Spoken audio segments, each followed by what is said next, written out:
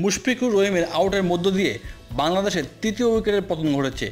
ময়জাস হেনরিক্সের বলে এলবিডব্লিউর ফাঁদে পড়া মুশফিক মূলত আম্পায়ারের খড়গের শিকার হয়ে সাজঘরে ফিরেছেন। সুস্পষ্ট ইনসাইড এজ হওয়ার পর আঙুল তুলে আউট দিয়েছেন আম্পায়ার। যদিও মুশফিক কোনো রিভিউ নেননি, হেনরিক্সের বলে ক্লিক করতে গিয়ে এলবিডব্লিউ হন তিনি। তবে হটস্পট ও রিয়েল টাইম স্নে করে দেখা যায়, বল ব্যাট স্পর্শ করেছিল প্যাডে লাগার আগে। এর আগে ইংল্যান্ডের বিপক্ষেও এরকম কিছু বিতর্কিত সিদ্ধান্ত দিয়েছেন আম্পায়াররা।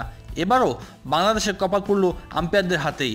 বিশ্বকাপে ভারতের বিপক্ষে ম্যাচটিতেও এমন ঘটনার শিকার হয়েছে টাইগাররা। শেষ খবর পাওয়া পর্যন্ত পঁয়ত্রিশ ওভারে পাঁচ উইকেট হারিয়ে একশো একচল্লিশ রান করেছে বাংলাদেশ।